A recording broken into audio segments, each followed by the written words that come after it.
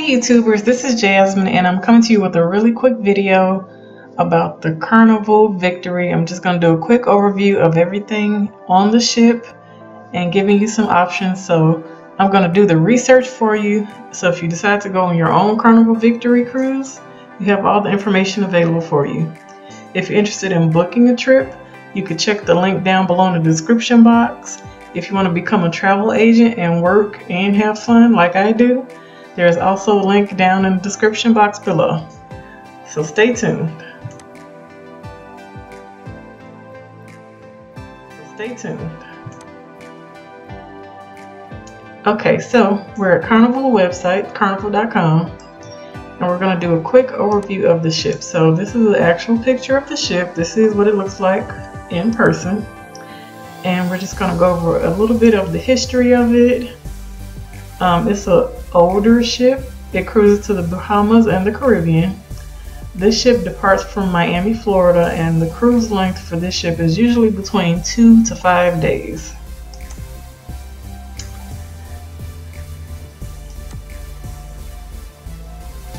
Okay, and the Carnival Victory ship. It holds about 2,064 guests. It's 893 length in feet, 1,100 onboard crew, and the gross tonnage is 101,509. So basically, it's a hotel on water. Okay, so inside the ship. Inside the ship, there are exactly 14 levels. So the Riviera level, that would be right here, deck one. That's at the very bottom of the ship. And deck 14 will be the very top of the ship. So when you're booking your cruise, you want to make sure that you know which deck you're going to be on. So on my last cruise, I was on deck number four. So I was kind of close to everything. I was close to the fun, but I was on the deck of the ship. So I was on deck four, that's kind of like in the middle of the ship. Okay, that's not my deck. I think I was on the lower deck because mine have all rooms. Okay, yeah, I was on the lower deck. So this is more towards the bottom of the ship and I had an ocean view room. So I'm gonna go over the staterooms shortly. So just keep in mind when you're booking, make sure you look where on the ship that you want to be on. If you want to be low or if you want to be high. The higher you go, the more expensive it will be. The lower you go, it's more affordable. Okay, so your stateroom options. They have interior rooms, ocean view rooms, balcony rooms, and suites. So the interior rooms, they have different categories. They have the interior picture window with a walkway view. And you see it's just a standard small room. It's good for singles or couples. They have the interior room with no windows. That's the inside of the ship. This is also good for singles or couples if they don't mind not having a, a window or a porthole. This one has two small portholes which allows for some sunlight but it's still in the middle of the ship. But as you can see, it's just a standard room. It's good for couples or singles. They have an interior upper lower porthole. This would be good for families, like a single person and children. And this little couch right here is available for sleeping. It's big enough for people to sleep on. And the interior upper lower, this is good for kids. If you have a lot of kids with you and you need like a joining room, this is a good option for children. Okay, we have the ocean view category. Uh, we have the scenic ocean view, which lets in a lot of light with seating, as you can see and this is good for couples or families. It's large enough to fit uh, at least up to four guests for this ocean view room. This is the standard ocean view room. This is the type of room that I booked. Um, it was spacious enough for two people.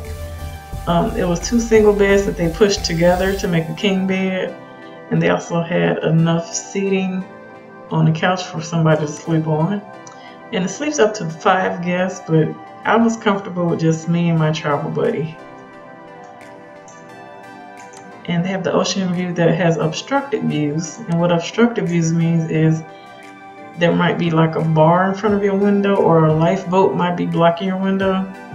They are more affordable, but if you want a complete view of the ocean, I wouldn't suggest this obstructed view room. But it is affordable if you don't mind looking at a sailboat or lifeboat or a walkway. And this sleeps up to two guests with connecting rooms. Then we have the balcony room. Uh, the balcony rooms have a lot of options. This is the premium, premium Vista balcony and it's on the corner of the ship so you see you have a lot of room with seating and this is great for couples, families, friend trip. It sleeps up to three guests, but you can sleep a lot more if you really wanted to. The premium balcony is a larger room and it sleeps up to four guests and has seating for two outside and uh, two single beds that you can push together to make a king size bed and has large bathroom space and counter space with TV. The aft view room, this is more towards the front of the ship. It sleeps up to three guests and has a larger balcony. But the rooms are a little bit smaller, but if you don't mind that, this is good for like a couple or a couple and one kid or three friends. And this is the standard balcony, which has the same amount of space and a smaller balcony. It says you can sleep up to five people, but I don't think that would be comfortable. I would say three people max in this type of room because it's a little bit smaller. Okay, and the suites. Uh, the captain suite, of course, is the nicest suite. Sleeps up to five guests, has a balcony. It has a nice bedroom area. It has a couch, you see it's a little more upgraded. Well, on the pictures. It has a nice couch area so that could sleep several people. And it has nice open lighting coming from the outside. And a huge deck. So you could have like gatherings or events up there. The captain suite sleeps up to five guests. So this could be great for a family, big family coming, doing a big get together. Okay, the grand suite is set up with the bedding area and the living room area. And this also has a, a nice sized balcony. And it has a dressing room area and a bathroom area, which is great. It says it sleeps up to five guests. I would say maybe three or four comfortably, three adults comfortably, or a family and the ocean suite, which is also nice. It's a little more spacious, has a dressing area, closet space, has a balcony on the outside, seating for two. So these are all great options. This seats about four guests comfortably, balcony, and it's one of the bigger rooms. And what's great about the Ocean Suite, they have great perks like priority check-in, guaranteed dining time, express boarding and debarkation, including in all destinations, one complimentary laundry service, including pickup and delivery, which is good if you're going to go on a like a longer cruise, like seven or more days if you need that, and two large complimentary bottles of water in the stateroom. Um, Okay, it's just bottles of water, but I guess that's a good perk also. Okay, so that's a little overview of the staterooms. Next, we have onboard activities. Now, my last video that I linked above, I said that there was something for everybody on this ship, and there is. Um, if you're into bars, they have the Blue Iguana Tequila Bar. That's an additional cost for the drinks, but you know, it's a nice setup if you don't mind paying a little extra for the bar. Uh, the Serenity Adult Only Retreat. I used this for most of my trip because I didn't want to be bothered with kids. I'm just being honest. But it was a really nice area if you just want to chill and lay back. On the Carnival Victory, it's kind of a small area, but it, it was enough. Uh, the Punchliner Comedy Club. This is something that I also went to. They had two different comedians um, every night. So there was like an early show and a later show. I saw both comedians. They were very funny. And I think they were well known.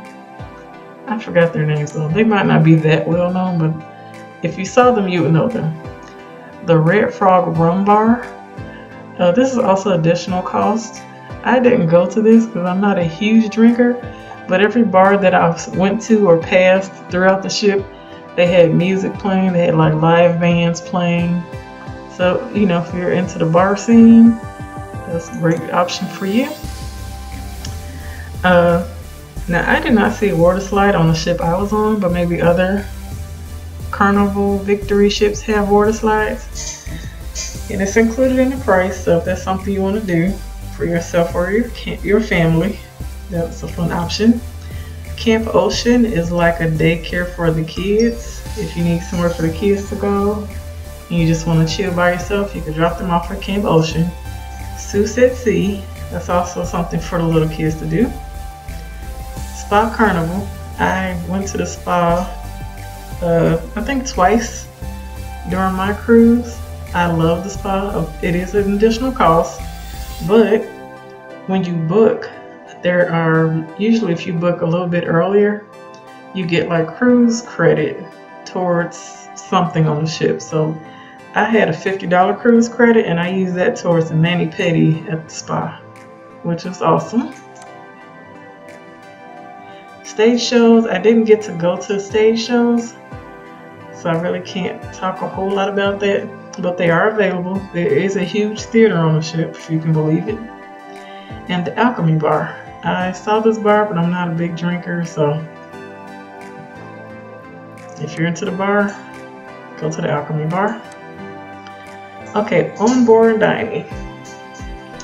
The Bonsai Sushi Express is an additional cost, but this has sushi, seafood, you know, raw seafood, that's what you're into. They had green eggs and ham breakfast. This is breakfast like geared towards the kids. I didn't see this because I didn't have kids with me, but I'm assuming that there are people dressed up as characters walking around with the kids. Guy's Burger Joint. I did go there. The burgers were good and they were ready, fast service. Lido Marketplace. This is the deck I was talking about where they have a huge cafeteria area. They do have a lot of different options, but I'm not a fan of buffet style food. But that is included in the price of your trip. Uh, sea day brunch, I didn't do that. The chef table, this is what I did for my birthday. It is an additional cost. It's like $75 per person on my particular cruise. The price might change on different ships but I did do that. It was an experience. I highly recommend it. The Blue Iguana Cantina. I think this is a place where you can get like quick sandwiches, deli stuff. The Seafood Shack, which is an additional cost. This was the place that I went to where there was a long wait for seafood, like a half an hour to an hour wait. So if you're gonna go there, popular, be prepared to wait and pay extra. Okay, Pizza Pirate. This place serves pizza all day. So if you like pizza, try out Pizza Pirate. All day, when I mean like at night too. That's like the only thing available after hours. Or room service. Room service is free if you order from the free side of the menu. And the dining room, they had different dining rooms for the sit down fancy dinners for like the dress up night. So that's a good option if that's what you want to do. Okay, so the Carnival Victory mainly goes to the Bahamas and some ports in the West Caribbean. As of the date of this video, in October 2019, there was a recent hurricane in the Bahamas, so not all of the ports are available. But as of October 2019, you can go to the Bahamas from Miami, Florida, and that's Nassau and Princess Cays. The same for this one, the Bahamas to Miami, or the Bahamas from Miami, and that's for Nassau, Princess Cays. And the West Caribbean, this one goes to Mexico, Cozumel, Mexico, and the Florida Keys, and comes back to Miami. And these prices, well, they are very low. These are the starting prices. So this 179 price would be for an inside room. And it kind of goes up if you want like a balcony room, if you want a suite, the price goes up. So that's about it for the overview of the Carnival Victory. If you're interested in booking something like this, or if you want more information, check down in my description box below. You can book through my website, or if you want me to book it, just send me an email through my website. Or if you think this is fun and you want to do something like this for other people and you want to be a travel agent, click the link down below, contact me, and we can get together and discuss how you can become a travel agent yourself. Thank you for watching my video. Please like and subscribe. If this video helped you at all, share with someone else and have a great evening.